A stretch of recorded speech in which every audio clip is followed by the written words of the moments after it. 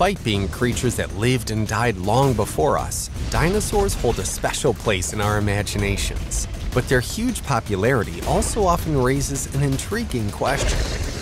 How were dinosaur fossils not discovered until the 1800s? The truth is, humans have likely known about dinosaurs for thousands of years. However, we didn't know their true nature until the 19th century.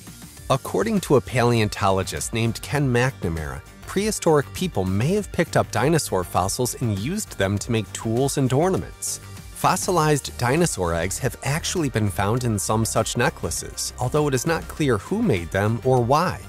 But the most captivating of such theories is one that involves a mythical creature, the dragon. Some experts believe that the reason dragons are so common in a lot of folklore is that ancient people often mistook dinosaur fossils for dragon remains. In fact, an ancient Chinese historian named Chang Qu is said to have actually mislabeled a dinosaur fossil as the remains of a dragon. Of course, one look at a dinosaur skeleton is all we need to know why he made this mistake. But this is still proof that humans have had a long and deep history with dinosaur fossils. Yet, strangely, our modern understanding of these creatures did not form until much later. In the mid 1600s, an English naturalist named Robert Plot came across a fossilized femur discovered in Oxfordshire, England. He noted that it looked almost exactly like the lower part of a human thigh bone and included its illustration in his 1677 book, The Natural History of Oxfordshire.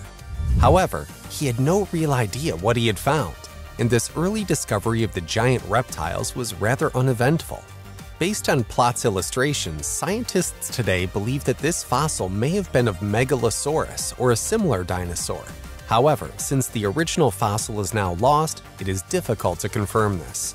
Fortunately, the arrival of the 19th century brought with it a new age of fossil discoveries that led to our modern understanding of dinosaurs. In the early 1800s, numerous dinosaur fossils were unearthed in England, including Megalosaurus, Iguanodon, and Hylaeosaurus. These fossils were then studied by an English paleontologist named Sir Richard Owen, who found that they had many shared characteristics. But it wasn't until 1842 that he would give these creatures an actual name. And so, in a report published by him that year, the term Dinosauria made its first appearance. Rooted in Greek, this term is often quoted to mean terrible lizards, However, while coining this term, Sir Richard instead referred to the creatures as fearfully great, noting that their large sizes were significantly greater than that of any living reptile.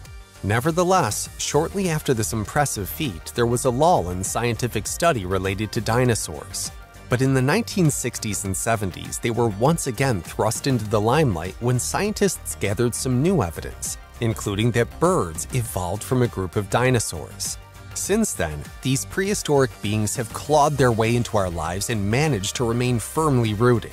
As a result, from movies to video games and books, there is hardly any popular media today that hasn't talked about dinosaurs. So, what is it that you find fascinating about dinosaurs? If you like our video, don't forget to hit the subscribe button and check out our community page to vote on the next topic. If there is a burning question that you want answered or a new topic you want to suggest, let us know in the comments below.